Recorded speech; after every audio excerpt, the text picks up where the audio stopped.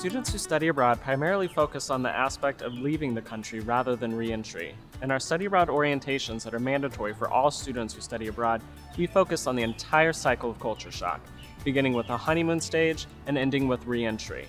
The honeymoon stage is where our students arrive in country and they're brimming with excitement about the new location, the new school, the new friends, and all the sights and sounds that they're going to see. Soon following may be the rejection phase. Now, the rejection phase is where students come to reject the host culture. They begin to learn the differences, miss their families and American culture back home, but they're also filled with anxiety. Adaptation, adjustment, and reentry are all stages that will soon follow. Reentry is probably one of the most important aspects of any student's culture shock and coming home.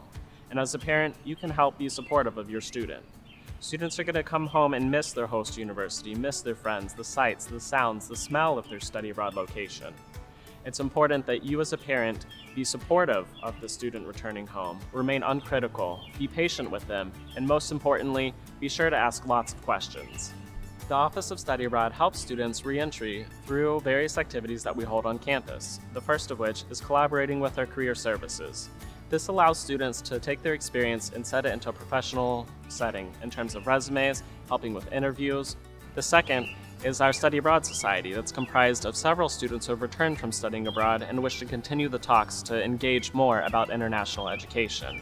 The last of which are peer advisors. Our office employs student workers to work for us that will be able to explain the process of studying abroad and articulate their own experiences to other students who also wish to study abroad.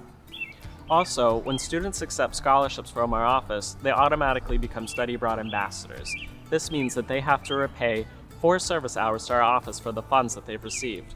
This can be done while abroad or when they get home. While abroad, we have many students that will blog about their experiences to keep us up to date on their travels, to help inspire and encourage new students to go abroad. They will also submit pictures to our office, and once back on campus, we have those students participate in our study abroad fairs and promoting study abroad around campus. Another thing to prepare for is that your student may choose to study abroad more than one time. A lot of our students will test the waters with short-term programs before diving into a long-term semester program. We know that you'll miss them while they're gone, but these experiences will help to broaden their horizons in the professional world. If you're still stuck on reverse culture shock, feel free to call our office and one of our advisors would be happy to help you. You can also check out our website under the Parents tab under Coming Home. We have a lot of ideas to help you and your child both cope with the idea of culture shock and re entry back into the United States.